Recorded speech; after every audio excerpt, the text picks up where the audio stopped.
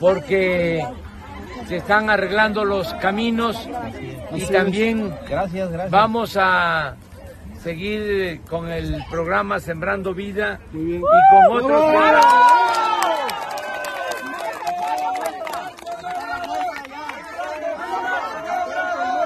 Me acompaña la gobernadora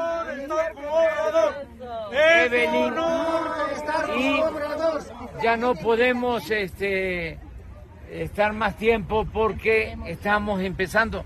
Todavía no llevamos ni un solo acto de los tres y nos han parado en la carretera varias veces, pero nos da mucho gusto, mucho gusto estar aquí con ustedes y pues eh, estamos gobernando para todo el pueblo de México, pero con más preferencia para la gente humilde, para la gente pobre. ¡Bravo!